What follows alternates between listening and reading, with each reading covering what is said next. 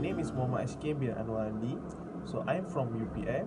Currently, I'm taking the chemistry degree in chemistry.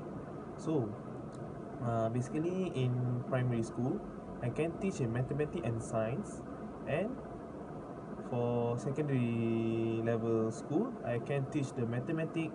Uh, for form one and three, I can teach the mathematics and science, and from form four and form five, I can teach chemistry, physics, mathematics, and additional mathematics. For further, such as um, A level or IGCSE, I can teach physics, chemistry, and mathematics.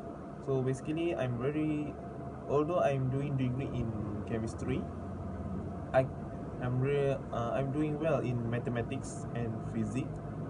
Uh, and my, I got uh, eight A's in PMR, and in SPM I got eight A's and one B. Uh, I got five A plus in SPM, which is I got physics, mathematics, uh, additional mathematics, chemistry, and sejarah. I got the A plus. You know that, and that's all from me.